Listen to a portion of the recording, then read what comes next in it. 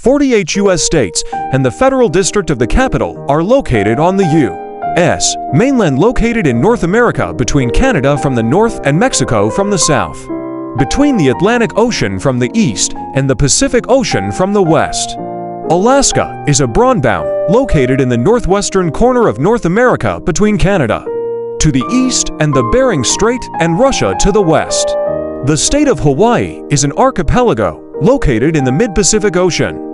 The territories of the United States of America, which are scattered in the Caribbean and Pacific Seas, include nine time zones. The geography, climate, and wildlife of the United States are incredibly diverse and diverse, making it one of the 17 countries with a lot of biodiversity. The late and colored Indians migrated from the Bering Strait to the Americas from Siberia 1500 years ago the colonization of the Americas by Europeans began in the 16th century. At the beginning of the United States of America was associated with the rival of the British Empire in Virginia and Bermuda, the Dutch Empire in New Holland, the French Empire in the north and west, and the Spanish Empire in the capture of the Mississippi River and the southwest.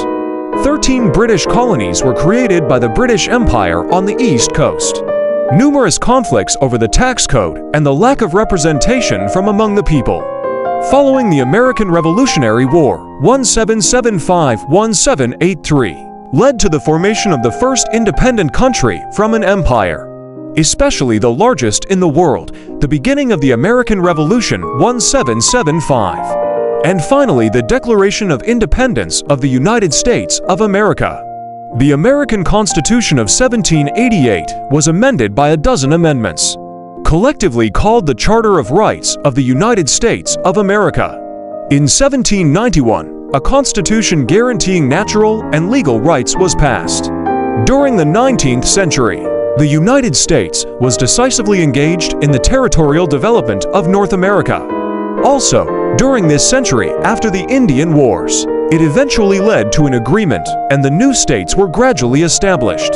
In 1844, the development of American territories across the North American continent was completed. In the second half of the 19th century, the American Civil War led to the obsolescence of slavery in the country.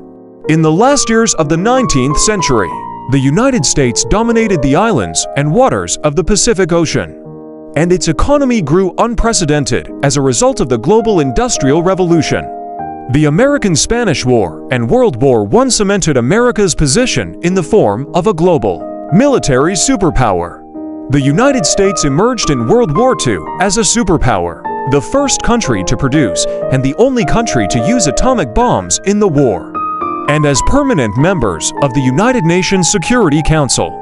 During the Cold War, the United States and the USSR had significant space competition, which culminated in the Apollo 11 project.